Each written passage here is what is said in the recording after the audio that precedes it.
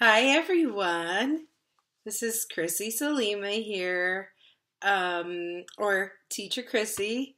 So, I wanted to give you guys my VIP Kid update. I have about five minutes, so hopefully I can get this done.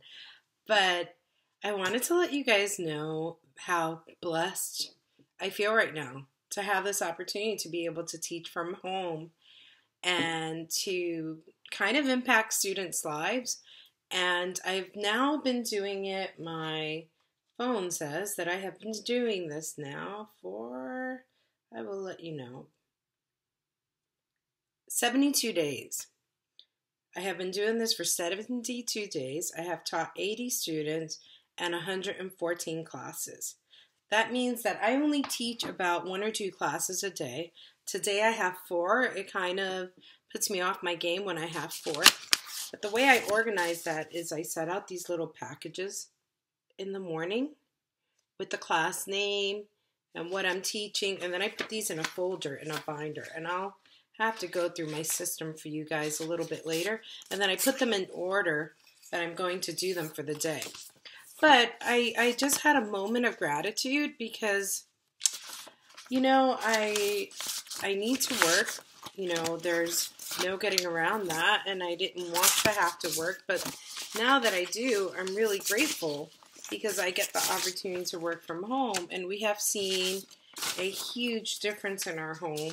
One, I have to say that I feel there's nothing wrong with being a stay at home mom. I have worked since I was 13 years old, and that summer that I worked, I worked full time. Um, it was different, and I wound up having two jobs.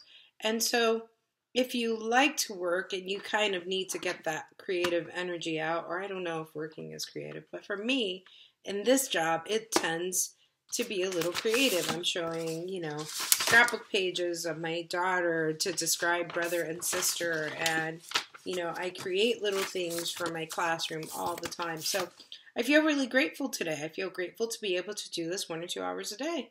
I've taught, you know, I've taught for uh, 70 something days and I have 80 something students.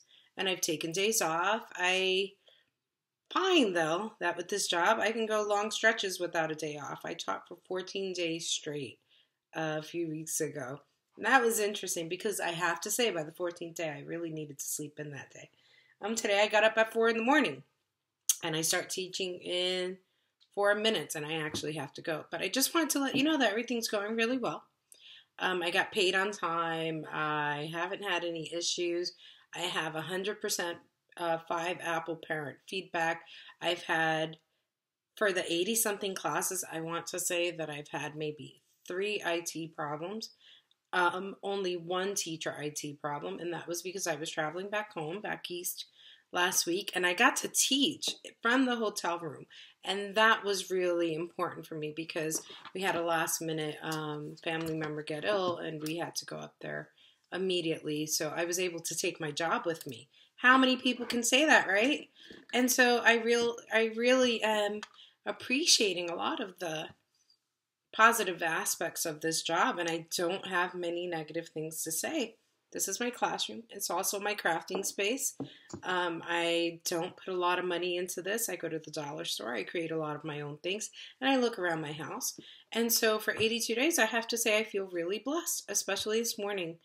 So I just wanted to give you guys an update, tell you teacher Chrissy is still loving it, and I hope you do too. If you have any questions, please feel free to message me. Or if you want to see what this is about, my referral code will be down there for you, and I can answer any questions for you. I had one um, person successfully pass, and she's now teaching, and I'm so proud of teacher Laura. Um, so if you have any questions, let me know. I'm still lo- loving it. I appreciate this journey, and I'm really grateful to be able to be working and to not have to leave my son. It's been a blessing. Y'all take care. If you need anything, you let me know. Bye bye. Have a great day.